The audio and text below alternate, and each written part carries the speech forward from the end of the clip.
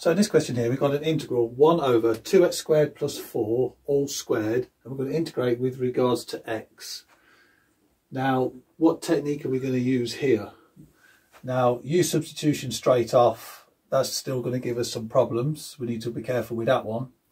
Uh, another way, which would be quite tempting, would be expand this out and get a 4x to the power of 4 term and a 16 as a constant at the end and some x squared terms in the middle. Another way would be to try maybe partial fractions, but that's also going to give us some problems and be quite complicated. So one method I'm going to show you here today is the power reduction formula for, a, for a, an integral of this form. So what we have, if we have a look at an integral of 1 over ax squared plus b to the power of n, integrate that with regards to x, we get a result which is in two parts. First of all, we get an answer, a bit like when we do integration by parts. So the first part will be the answer, and that will give us x over 2b times n minus 1. Now these values I'll go through in a moment. And then we have this term here multiplied. So ax squared plus b to the power of n minus 1. So whatever the power is, that's what we use. And then the second part is another integral itself, which we add to this expression here. And it is uh, 2n minus 3 over 2b times n minus 1. And the integral is this power reduced by 1, as is always the case in these power reduction formula questions. So 1 over ax squared plus b to the power of n minus 1. And that's all with regards to x again. Now, if you add uh, constants of integration here to go in here, then you just fill them in in this part here and evaluate x accordingly. Okay, so looking at this integral here, we can straight away calculate which our values of a, our b and our n are. So a will equal 2, b equals 4, and the n equals 2. Okay, right. So let's go straight in. From there, we can plug in our values into our power reduction formula and see where that takes us. Okay, so first part of our answer is x. So we can write that in straight off. 2b, so that's 2 times 4. And we've got n minus 1, so that's 2 minus 1. So I'm going to write these all in as they appear in the power reduction formula. And then times ax squared plus b, which is simply 2x squared plus 4, as in the question. 2x squared plus 4. Okay, now the power is to the n minus 1, which is just going to be 1, so I'm just going to leave that as that. Okay, so now we add on an integral with a constant multiple attached to it. So 2n minus 3, so that's two 2's minus 3 and 2b, that's 2 times 4, 2 times 4 and then n minus 1, still going to write that as 2 minus 1.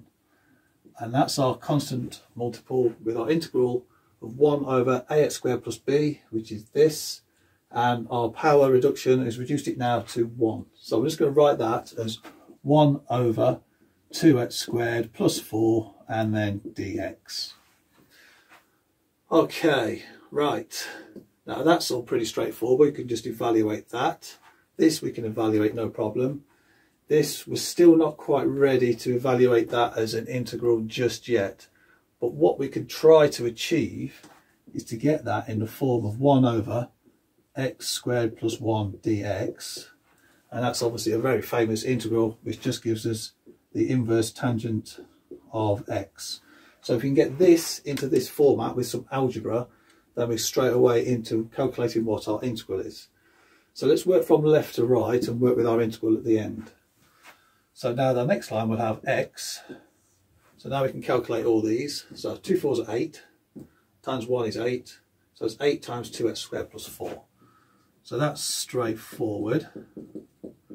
Okay. Now this constant uh, multiple here for our integral. 2 2's are 4 minus 3 is 1. And then two fours are 8 times 1, that's just going to give us 8. Okay, now let's do something with this. Now we can get this down to an x squared term by dividing everything through by 2. So if I factor out a 2 out of that, I'll get 2x squared plus 2. So that would take care of that. That would be the equivalent value.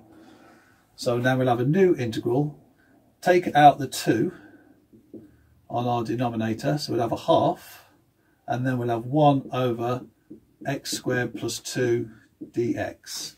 So you can see there, this bit here would be equivalent for our integral giving us that. So that's the 2 taken out. So this is now going to be 1 over 16.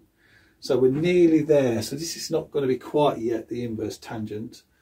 So what we need is now a u substitution. So what we try and get is something that when we square it, we get 2. Well, the number we need is obviously square root of 2. So what we want is let u equal x over root 2. So if we do that, we'll get something we can square and get into our 2 there and then factor out a 2.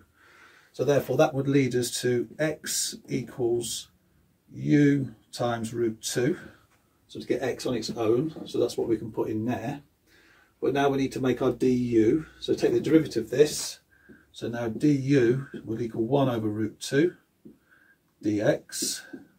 And then just to get dx on its own, that dx will be root 2 times du. So dx equals root 2 times u. Okay, so we can substitute all of that in here and let's see where that takes us. So this constant here, we can just bring that out into the front, 1 down over 16. Now we can change this into our u substitution. So x squared, that's going to give us u squared times 2. So that's going to give us 2u squared. So 1 over 2u squared, the 2 stays. And now the dx, that becomes root 2 times u. So therefore, sorry, that's root 2 times du, I should say. Root 2 times du. So now I can put root 2 on the top.